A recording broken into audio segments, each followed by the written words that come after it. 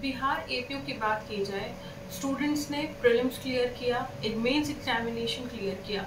Bookish knowledge बहुत अच्छी है, लेकिन जब हम बात करते हैं इंटरव्यू सेशंस के बारे में तो वहाँ पे जब आप इंटरव्यू देने के लिए अपियर होते हैं तो डर बहुत लगता है।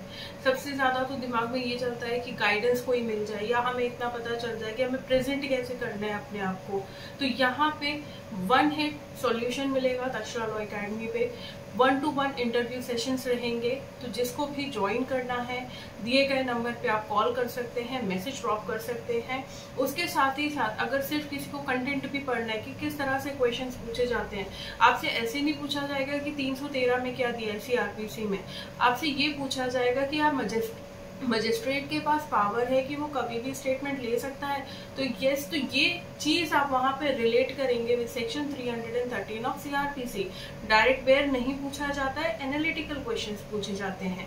तो यहाँ तक्षला लॉ एकेडमी में आपको हर तरह से तैयार कराया जाएगा फॉर द मॉक इंटरव्यूज़ तो one hit solution from Takshala law academy thank you so much